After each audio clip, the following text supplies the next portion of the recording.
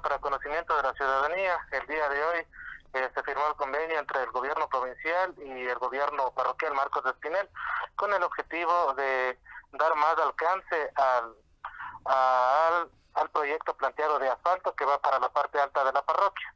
Como contribución hemos aportado 20 mil dólares más eh, para así alcanzando el kilómetro de asfalto.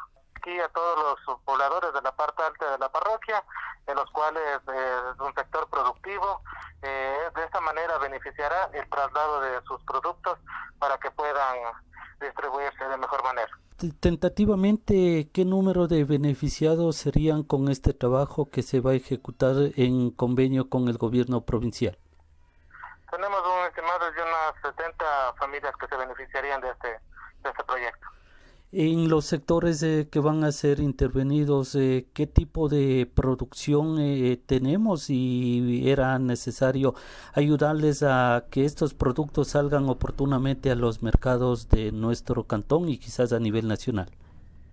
claro, bueno, como comentaba, en la parte alta se dedica a lo que es ganadería, entonces la comercialización de productos de, la leche, en sí la leche, los transportes, de, de ellos son los que se benefician.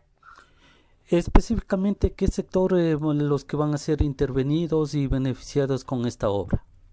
Eh, claro, eh, bueno, del convenio de este año 2020 es en el sector de la comuna San Marcos y tenemos el arrastre todavía para conocimiento de la ciudadanía del 2019 en dos partes que es eh, Pampamía Rocafuerte y el sector de Huanguibana La Paz.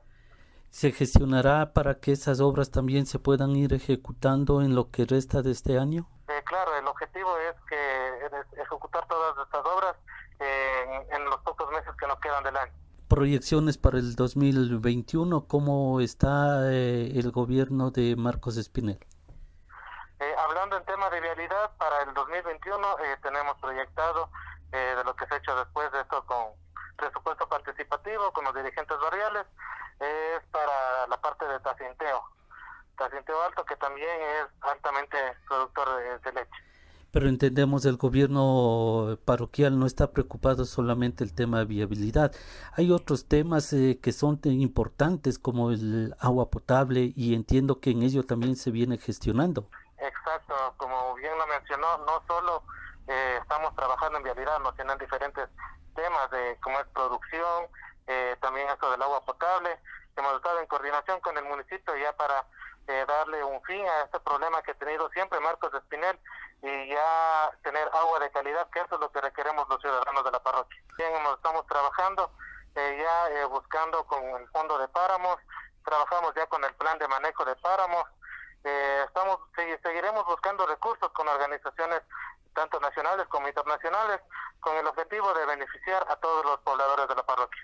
¿Cuál es la alternativa que se plantea para la solución del tema agua potable en Marcos Espinel?